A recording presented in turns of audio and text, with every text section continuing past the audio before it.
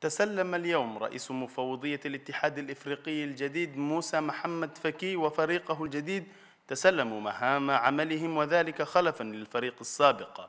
المناسبة كانت بمقر الاتحاد الإفريقي بالعاصمة الأثيوبية أديس أبابا بحضور الرئيس الدوري للاتحاد الإفريقي البروفيسور ألفا كوندي تقرير الزميل أحمد آدم.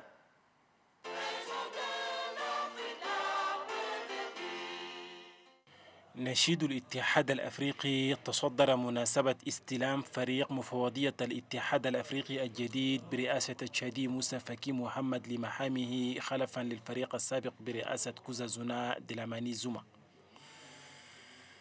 مناسبة حضرها عدد من الشخصيات الدولية وترأسها البروفيسور ألفا كوندي الرئيس الدوري للاتحاد الأفريقي ورئيس غينيا كوناكري.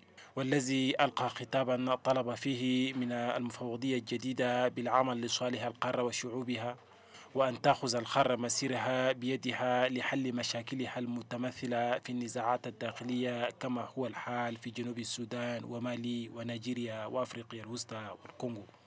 والإرهاب الذي بدأ كالسرطان في الدول الرئيس الجديد لمفوضية الاتحاد الأفريقي موسى فاكي محمد وفي نهاية المناسبة سلم الفريق السابق جواز السفر الأفريقي.